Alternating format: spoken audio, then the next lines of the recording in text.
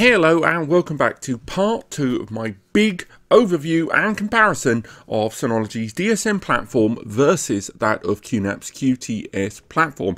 This is part two in this series and today I'm going to talk about advanced storage. So we've already talked about initialization and setting up your pools and stuff. Now we want to see how these two big brands compare about the more advanced storage. And in today's video, we're going to be covering uh, standard file management. Then we're going to be going for searching throughout the whole system, the ways in which you can do it. Then we're going to be looking at mapped drives and iSCSI targets, how to set one up and how uh, you, they are configured on both of these systems. Then we'll be dipping into SSD management on these devices, what options are out there, what services you can use and setting up cache and, you know, the extent to which you can configure that uh, cache. And finally, we'll be looking at storage drive management, adding a drive, the options open to you with external drive, expanding your RAID and more. But before we go any further, you may have noticed I am not on screen right now. Yes, on my previous video, I was there at the bottom of the screen. Now, the reason for this is no shyness, but the graphical drive, as you can see there in OBS, is going absolutely bananas. And I couldn't get it sorted by the end of this recording. So I am here, and I apologise for not being there on camera to kind of direct this through, um, use face to face, but don't think I'm just shying away from the camera. It is mainly that I could not get the graphic driver for that webcam to stop malfunctioning. So I thought I'm just going to plow on with DSM here on the left and on the right hand side QTS. Now we're going to be using multiple NASs in this video. We're looking at the DS723 and the DS923. I've configured them in slight different ways. Uh, things like uh, will become clearer later in the video. The same goes the QNAP on the right, I'm using the TS462 and the TS264 here. So again, this is so I can show off different storage techniques without impinging other ones. But let's crack on with our first area there, the file manager. So both of these systems arrive with an in-browser uh, kind of file management experience there. So if you want to go through the data in the window of uh, your web browser or even the mobile applications. Of course, there are desktop and client applications for both Synology and QNAP.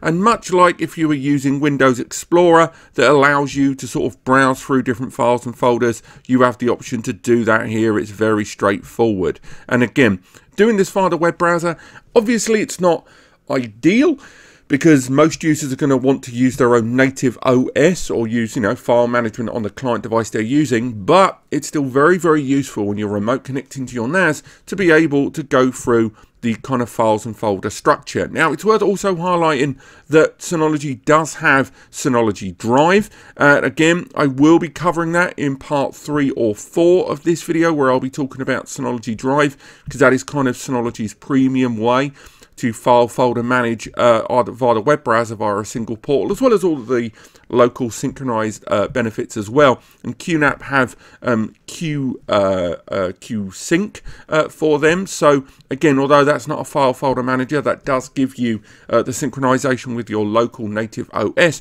But I'm not going to be covering it in this video because I think those are more for the synchronization part in this series. But when it comes to the actual file station application for both these platforms, they're largely the same. You've got the sort of options you might be used to having. So on both of these, if we make our way into the multimedia area of both of them, where I've put uh, kind of Plex data and stuff like that within both of these, it's all largely the same if we look at the test files within both of these what you can see, you can configure things quite a lot. You can go ahead, change the size of the icons you're seeing. I will say that the responsiveness does seem just a little bit better on the Synology. And I say a little bit, because although it does seem like it's a lot better from what you're seeing here, do bear in mind, these aren't uh, systems in parity. This, uh, although they're both using uh, the ones you can see on screen here, dual core processors, this is using a dual core Intel uh, Celeron, and this is that dual core AMD embedded Ryzen.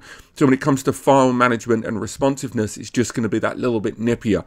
But even if they were using the same CPU, uh, DSM's file station will be just a little bit nippier. But that said, I would say the configuration options are a little better on the uh, QNAP there. So for example, if we go for Beauty of Taiwan there, the number of options that are open, if we do the same on this side, very similar. I'd say they're a little clearer there on the Synology if we zoom in just a little bit. on both of these. Uh, the configuration, as you can imagine, there's the whole compressing it, you know, putting in a zip and stuff like that. Find out a bit more information. Let's see what both of these systems provide us when we request more information. So again, you can find out more about the permissions that have been granted and whether you want to change them on the fly. Um, Again, a little bit more analytical checkbox system there on the QNAP. And again, calculation of the size. Both of them allow you to find out more information about how much data is being taken. Uh, from this, you can also find out more about the access log of who and when has accessed it and the QLog center on the QNAP. But again, that's going to be that little bit more uh, uh, kind of higher end information load that's going to be thrown at you there. Some of you may not take advantage of that, but still, some of you may appreciate it having it there. And again, kind of copy and pasting is largely what you would expect. So if you want to like garner two files there, right click, you can copy and move direct or just go on the fly. It's all fairly standard stuff between the two of them. It's presented, I would argue, with a little bit more polish on the Synology side, but on the QNAP side there, I would say that the uh, range of things you can bolt on, and more on this in the synchronization video, there's a greater degree of adding stuff on in terms of flexibility of what you can do there compared with that the Synology platform. But again, that's more for that sync platform. But for now, let's move on to searching for files and folders on this system. Now, when I say searching these individual NAS systems, what I mean by that is, is sometimes the, the, the kind of stuff you're searching for and the deepness that you want to search the system is going to vary. And both of these have a kind of multi-tiered um, level of searching the system. So even basic stuff, like say you wanted to search for a, a specific application, both of them have got that option where you can just type in and find individual uh, tools and services that you might be looking for there and it will kind of go through the things that you've got to search for nice and easily. The next tier up from that, of course, is going to be file folder or settings and options. So both of them have got little spyglass on their individual screens that allow you to search the system. I would argue, at least on this level, the Synology one is better. So for example, if I look for uh, 4K trailer, I know for a fact that there's 4K trailers on the system and it's found those individual files and folders there. In the case of the QNAP, if I look for 4K trailer, click start, as you can see, it's not finding that. But if I was looking, for example, for a specific setting, say I was looking for uh, licensing, then it will find apps and services. So this search here does not dig deep enough into that surface level to find a file or folder. But then both of them do have the next step up. In the case of the Synology, we can go for the universal search, which is effectively an extension of what we'll be using already. And in the case of the QNAP, this is where we would use the application known as QSearch. Now, QSearch, I would argue, is uh, probably the more detailed tool but it's also the more detailed tool that you may not need to use. It's also uh, to be used in conjunction with QFiling there, as you can see. So if we go back into Q search there, you'll see what I mean. So for example, in the universal search, we will be able to find, let's go for uh, the Matrix. We know the Matrix is on there. We've got a copy of the movie. There is the matrix there, there's our file folder, that's where it's based. There's even the installation guide that was an FLV shortcut that I created for an installation a few years ago, which I've stored on this device. We can then right click, we can choose to open in File Station, we can download the file directly from here, or we can open it in a brand new window, or if it's a multimedia file, we can play it. Now again, this is for another video, but if you have installed the Synology Office application, it will allow you to open up apps and services such as PDFs and docs within your window. And the same goes for the QNAP. If you've installed the Windows Office plugin, you can then open up, you know, Microsoft Word, uh, uh, spreadsheets, that sort of thing, all within the window. From here, you can choose if you wish to uh, kind of open those up in individual windows. You can change the search settings. Again, Indexing will have to be done periodically, but apart from that, that's really all you have there. It is search with a few bells and whistles. Now, QSearch, I would argue, could do with a slight improvement in its design. It's another case of QNAP um, having quite mixed messages with designs across different apps. There isn't really a single house style, and it does look a little bit dated, a little bit old style search engine, but at the same time, I really like its capabilities. So this time we'll look up the word matrix, it will search the whole system. And as you can see, it's found that Matrix movie. It's found two of the things that we had over there. It just didn't happen to have all of them. But again, if you want to create thumbnail generation, you can enable that, but of course we use more resources in order to do it. So we're going to enable that now, but you do have that option. Now, again, we are looking at this in a squished screen, screen format, so it's probably not helping, but at the same time, from here, not only have you got the options to add quite bespoke filters, which again, you do have slight filter rules here, but not really uh, the same level. But on top of that, when we right click, we've got the option to share those files directly, which from here we didn't have. So again, you can share those files automatically via the multitude of means. And again, you can have all those preset parameters, as well as opening them in a not dissimilar way to what you saw earlier on.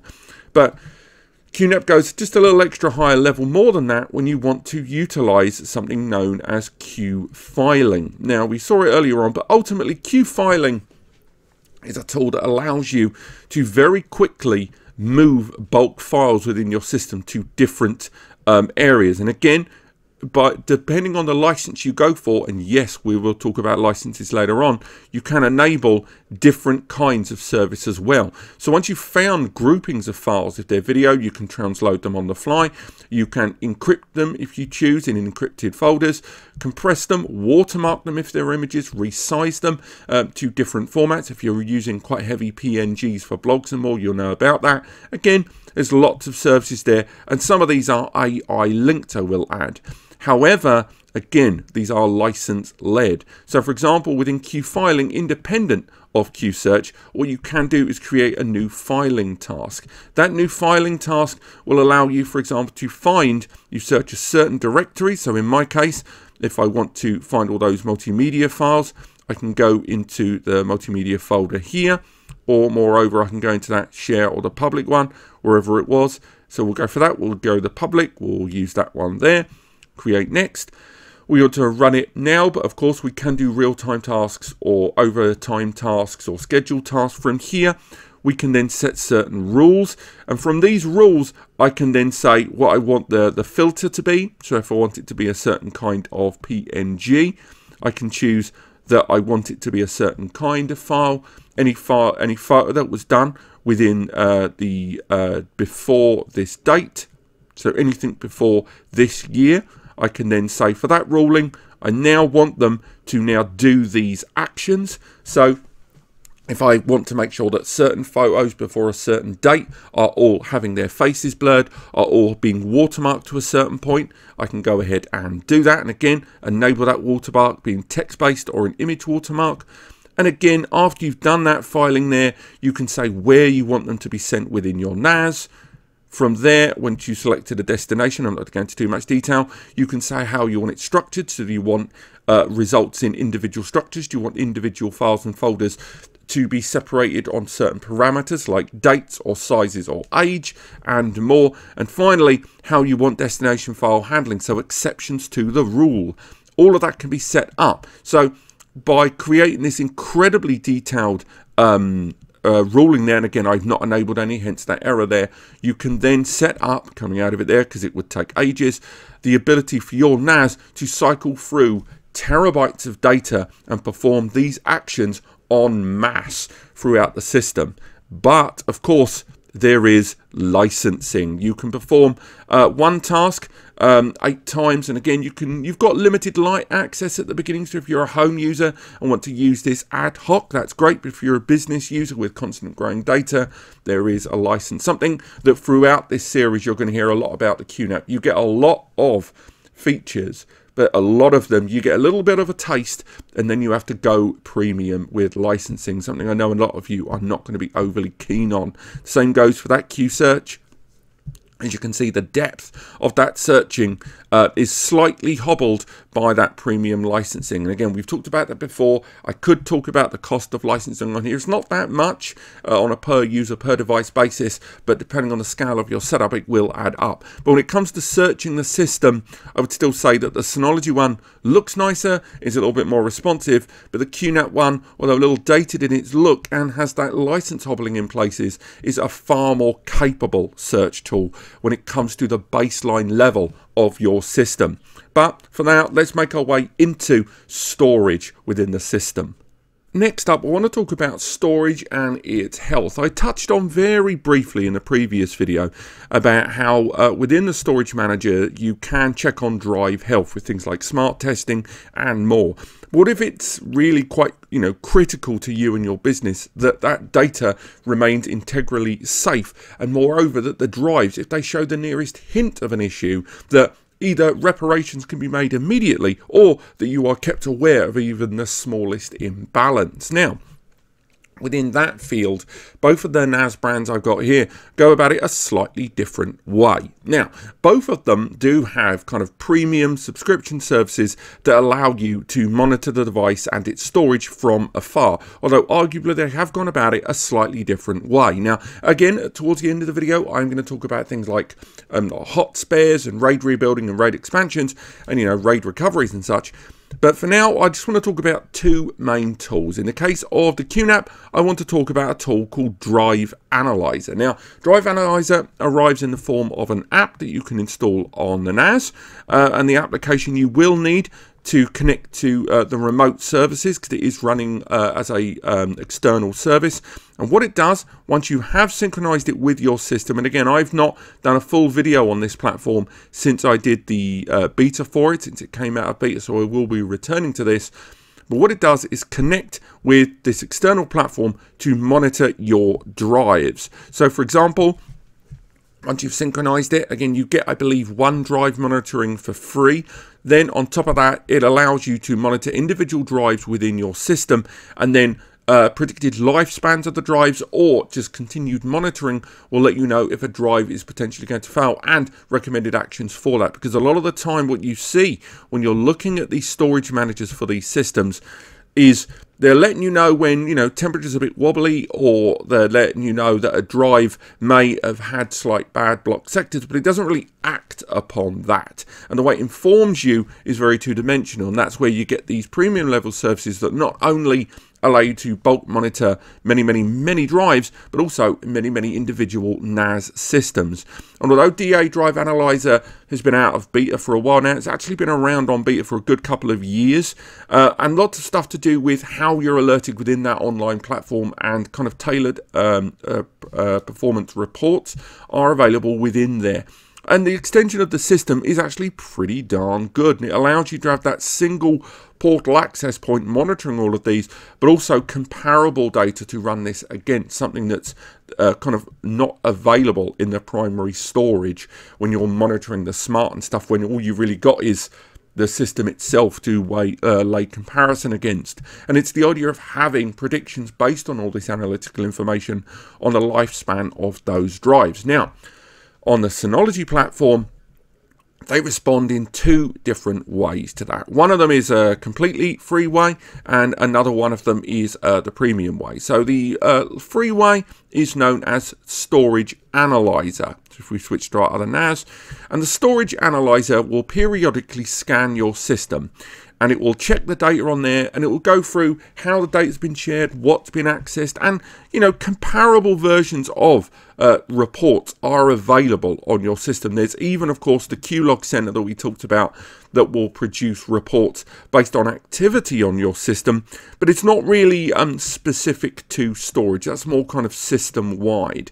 Uh, they do have, of course, the SSD profiling tool, and again, this is to give you uh, analysis over time of the SSDs in your system and the most optimal way to use them. But again, that's a lot more SSD optimized. And again, you can produce kind of minor reports of sorts within the storage manager of the QNAP, but it's not quite as intuitive or presented as well as the storage analyzer. So creating a, a report is really, really straightforward. You give it a name, so we'll call it test one. From there, add an email, but of course you will have to enable external access uh, for email notifications from your Synology account if you do that, how and when you want it to run, what schedule, the number of reports to be kept over time. From there, what you want monitored by this report within the storage. From there, do you want specific areas monitored or the whole thing? Um, what you want to happen with duplicate files. Do you want that mentioned in the report if there's duplicate file names to, you know, stop you having doubled up data? And that's it. You can even generate a report immediately. Now, what do those reports look like? Well, let me show you. If we open one up, we can have a look at it there. You can see what it looks like there on screen where it's broken down into the storage quota, file types more, what's been used, however. Also get that PDF report version that you can download as individual CSVs. It's, you know, it's quite informative. And remember, that's free and included. So fair play to them for including that option. The premium option, of course, some of you may already be aware of, is known as Active Insight. Active Insight is kind of a bulk Synology management tool. It doesn't just look at storage, it looks at system health, of course, and more. And again, that will when we cover lots more information in CMS, uh, uh, central management systems, and content management systems later on, uh, we'll maybe dip into this again. But Active Insight is kind of this overarching uh, tool that you can use for free on a trial, so you don't get any free licenses after a month. But for um, they're saying 23.99 euros again, call it 20 to 25 of your local currency. Uh, it'll allow you to monitor that device and add it. And again, from there you can add more systems. And again, we do have the trial version, uh, the demo, I should say, that allows you to, for example, see this large hosted array of different devices here we can dig in. So for example, let's monitor this RS3617XS.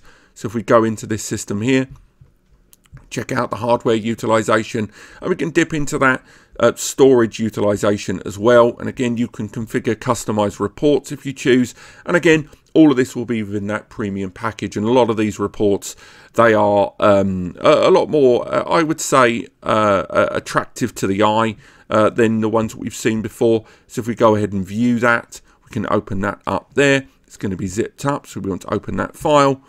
But from there, you've got that activity log. You can dig all the way in, and all of those are individual reports within that big report. So I would argue, again, Synology have kind of won this one in terms of the presentation of it, not just that free report tool there, where you can get most bits of this reporting tool on the QNAP, but they're spread across individual applications and services. Again, within the resource monitor, you can produce a report, but it's still not as detailed or as polished as this.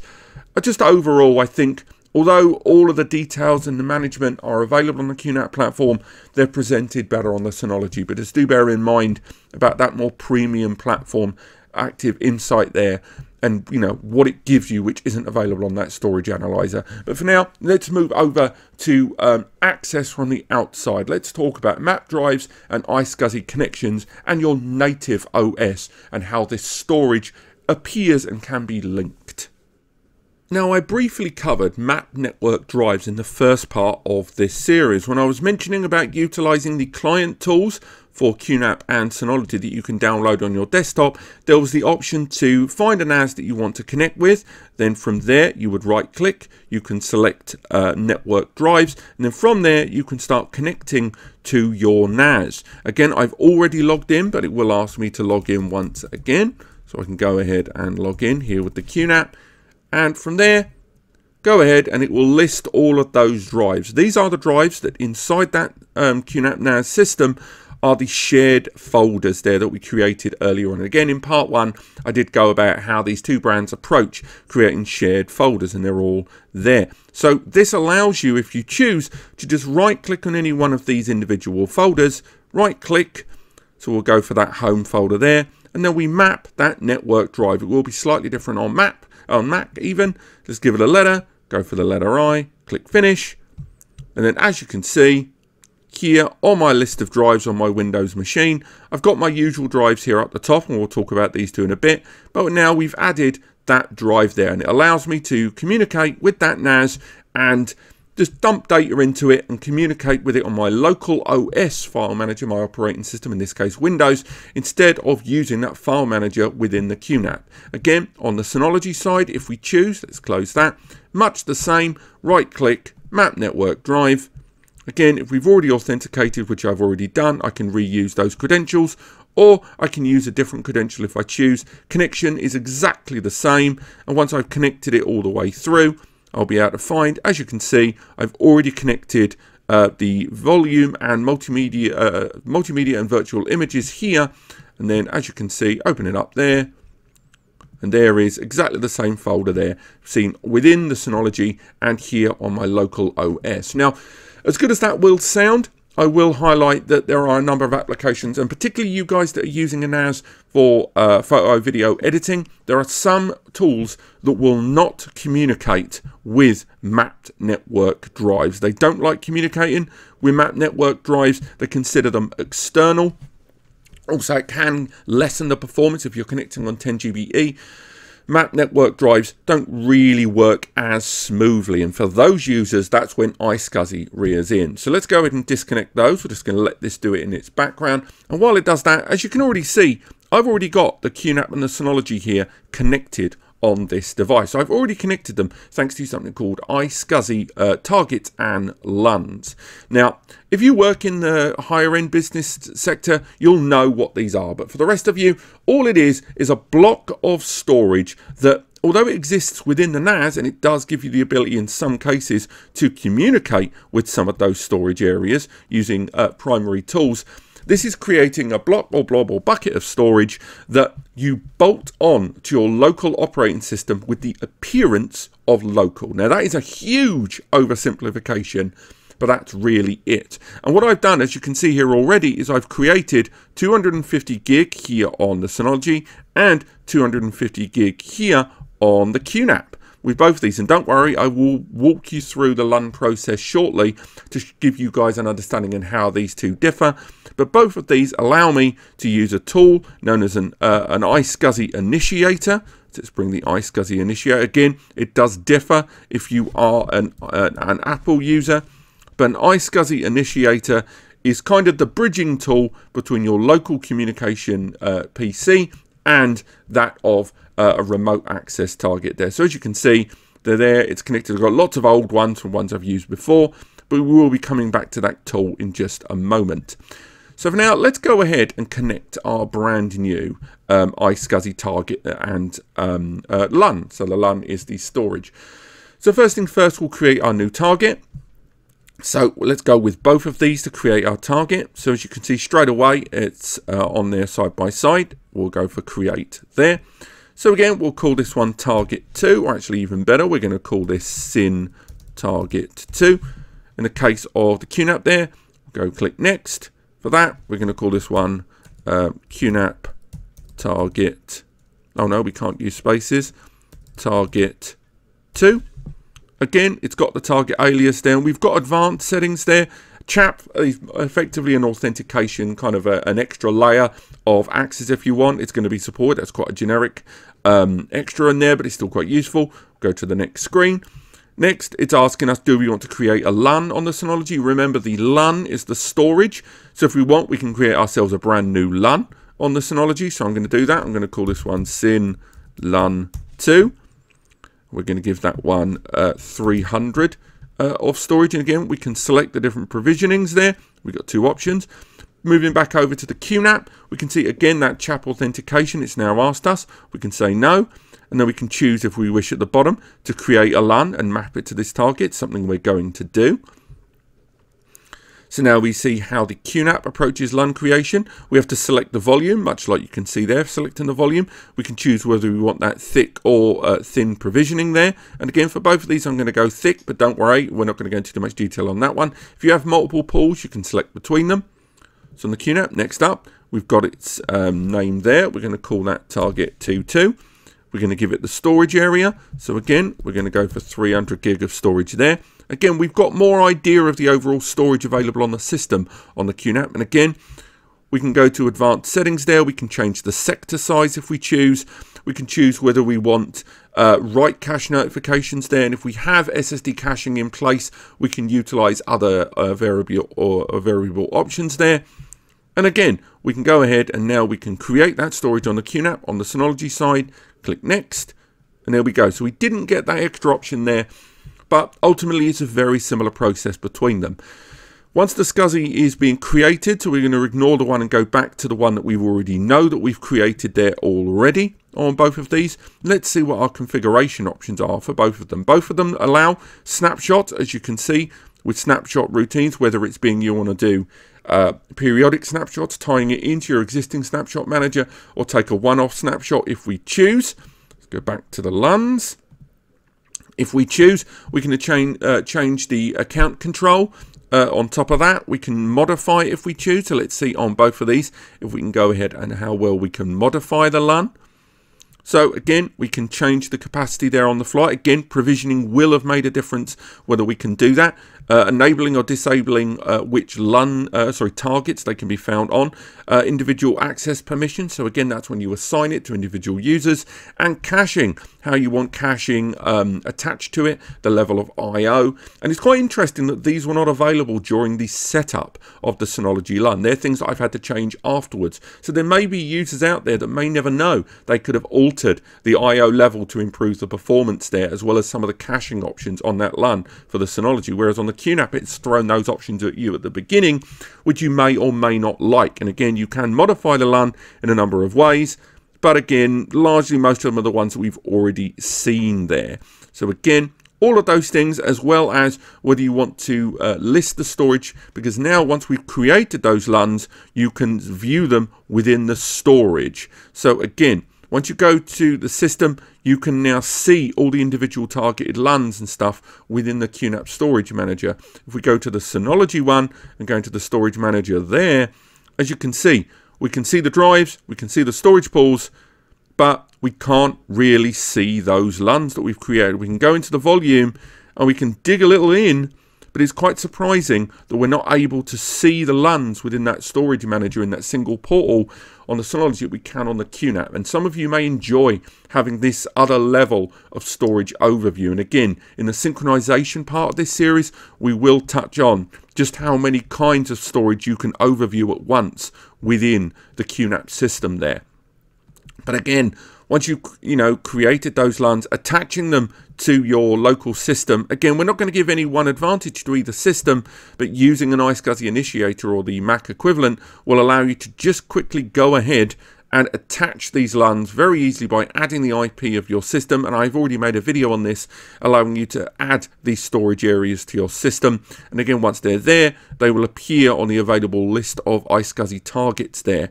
So again, nice and easy and that allows you to very quickly add these storage areas to your system again I'm not going to walk you through iSCSI Initiate. That'll add like another 10 to 15 minutes to this video to go through the stuff to do with that.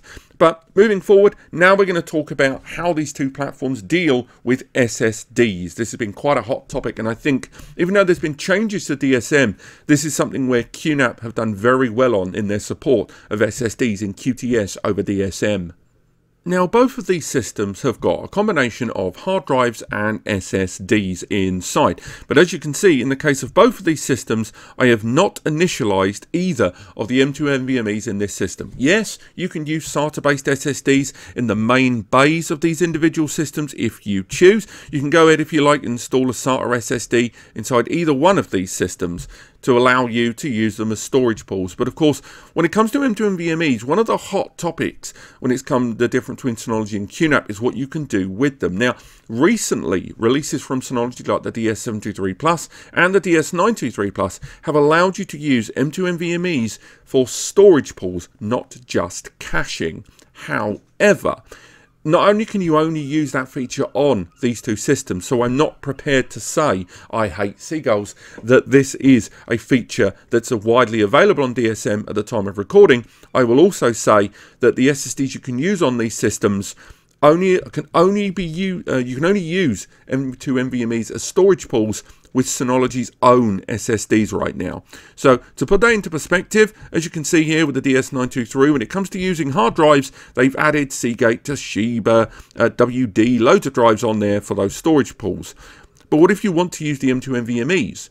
Well, if we search, currently you can only use their own SSDs. Now, you can install third-party SSDs in these bays for caching, but when it comes to storage pools, at the time of recording, you can only use Synology SSDs, but more on that in just a moment. For now, let's go ahead and see what options are open to us when we want to kind of use one of these drives. So there's our drive here. We can select the manage available drives and this allows us to choose what we want to do with our M2 NVMe.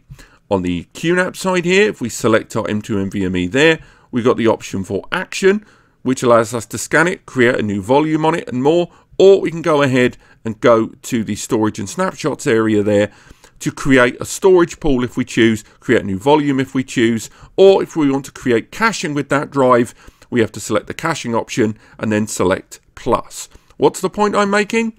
Well, I'm not overly keen on the fact that if I don't know what I'm doing, creating storage pools, caching, all that stuff is being made quite layered here on the on the QNAP here.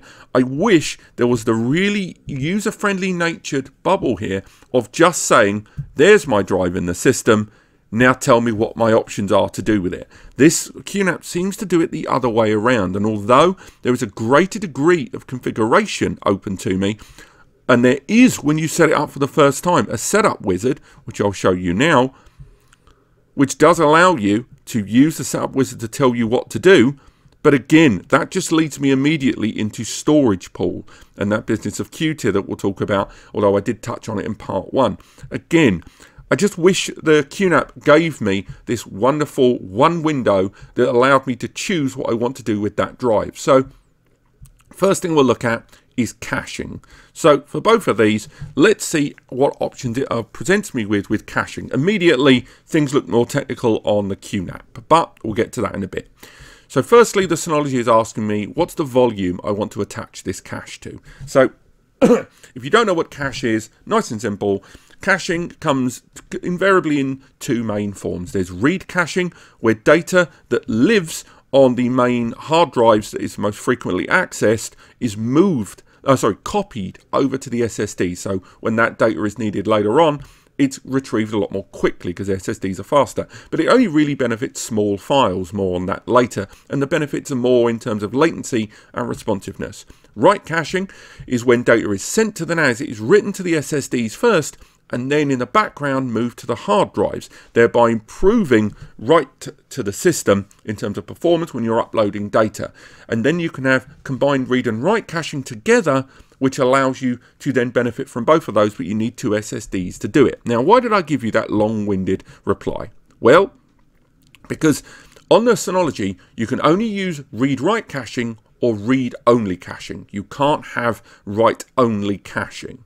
Now, write-only caching would benefit upload speeds. I would still recommend having at least two SSDs because if you have a system failure, the data would be written to the SSDs but not the hard drives, and you may lose data as data was not cached or stored appropriately during the write, because remember, it's some data is going to be gradually written. Still, write caching with multiple drives isn't completely out of this world as far as something people want. And I've always been surprised that Synology have not embraced write caching, because when you go to the QNAP there, we can select our drive, and then from there, we can have read-only caching, read-write caching, or write-only caching. But of course, depending on the caching choice you choose, as you can see, it recommends using uh, two drives to recover. You can, if you choose, go ahead with one drive for your write caching or select two drives. And then if we like, we can go for read-write caching, which will create that RAID 1 or if we wish, we can go for write-only caching as a RAID 0 or RAID 1. There's a lot more configurable options there. Now, if we move forward, we'll go for read-write caching on both systems. As you can see, it's letting you know that with read-write caching, you're not allowed to just remove the drives without causing undue harm. Again, read-write caching insists upon a RAID 1, in, uh, RAID 1 environment because in a um, read-write caching, you need the two drives to work parallel to one another. Move forward, and then you can see the next thing. From here, we select our drives which we've already done on the QNAP. Click Next. Then we say how uh, uh, the storage uh, ca capacity, if we want to use the whole drive space. And then that's it. That SSD cache on the Synology is ready to go. On the QNAP, we've still got a few more options. Let's zoom in on both of them. So on the QNAP, we can choose whether we want to enable SSD over provisioning. SSD over provisioning ultimately reduces the available storage space on an SSD, but at the same time uses that now reserved space on the SSD to enhance performance. Next, you can change the I/O level, something we talked about earlier with the iSCSI, but allowing you to change the uh, effectively the size of each block within the cache to uh, benefit caching towards other means, not just the random I/O, which we mentioned earlier on with much smaller files, but larger caching volumes as well. And again, you can go straight ahead and change the block size yourself if you choose. And there you go. It's letting you know the SSD where you want to enable it, what you want to assign it to. So in the case of the uh, Synology, we are assigning the cache to a whole volume. Within the QNAP, I can choose whether I want it to be to preset individual SCSI LUNs we've created, uh, created or multiple volumes if we choose. And that's it, it's all ready to go. And if we chose, we could go ahead and create our individual cache for both of these systems. And yes, you can configure the cache in uh, over time, but I would still argue that although the, uh, the creating cache on the Synology is very user-friendly and they've done great advancements in improving the benefits of cache within individual applications, I'd still argue the QNAP there, as far as SSD support, still continues to be the much more configurable tool, and particularly in terms of cache, more viable options. And if we were looking at a QuTS uh, platform or you know the ZFS QNAPs, we'd see even more caching benefits there thanks to ZFS, the Zettabyte file system, having those advantages for you. And remember, earlier on, as mentioned, you do have the SSD profiling tool as well to allow the QNAP to learn over a certain period of test time the best configuration for your SSDs. And finally, as again mentioned earlier on, you can go ahead and choose to create uh, that uh, uh, that storage pool of Q tier that allows you to combine hard drives and SSDs that will allow you to create one single storage area that instead of all of the storage caching which is when data is copied to an area of the disk, the system learns in Q tier where the most important data is and moves it to the appropriate area of the storage system. Again, similar to cache, but a different logic and definitely uh, when it comes to creating one large storage area that has inside hot, warm and cold storage areas very beneficial. Overall, in terms of SSD handling, the QNAP just gives you way, way more options, although it is obviously more user-friendly on the Synology. Let's go to our last area of this video, drive additions and RAID expansions. Now, I just added another drive to both of these NASs you can see here on screen. In the case of the Synology, I've added an additional Synology larger drive into the arrangement of drives that are available on that 923. And in the case of the QNAP, that TS462, I've added an additional 14 TB drive into the arrangement of available drives. So it should take around about a minute or so, but we should see, and as you can see, both of these systems have now recognized I've added a new drive. So in the case of that Synology, technology drive that I've added there, it's not going to allow me to add it until I've updated the firmware. That beep there responds to the drive being added to the system to alert me that it is now available there. As you can see, it's added it. So what are our options? Well, it really does depend on the storage system you're using. In the case of the Synology, and again, I could update the firmware on this drive, but not only do I want to use the, the, this drive for a future video coming up soon about drive firmware updates, but also I'm not going to be adding this drive for this video because I need this NAS for other videos I'm filming later today and adding the drive would affect that performance. But it still allows me to show you some of the options that are open.